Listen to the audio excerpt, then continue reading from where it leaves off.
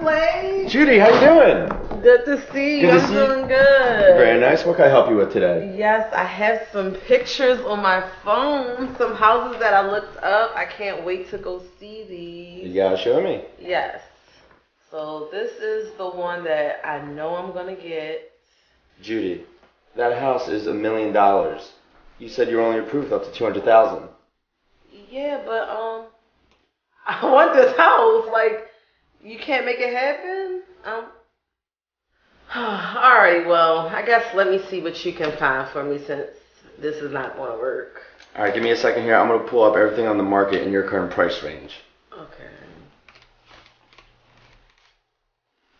Okay, so here's all the houses in your area with the criteria you gave me. Um, Here's the first one. How many square foot is that? So it's almost 1,200 square foot with three bedrooms and two and a half Uh, baths. mm, uh, that's too small. So how much square feet are you looking for? I mean, at least fifteen hundred. Okay, well let me look through these real quick. Oh my God, here's one with three Uh, uh, bedrooms. uh, uh, uh, uh, uh, uh. How many square foot is this one? This one's 1590, and it comes with. no, uh, uh, uh, uh, uh. That is still too small. Look at that bedroom. That bedroom is so small. Judy, you said at least 1500 or more. This is 1590. How's this too small? I mean, the room looks small. Like the kitchen, it doesn't even have an island in the middle. Um, I don't know what you want me to do. All right, well let me look in your price range and see what I can find in square footage.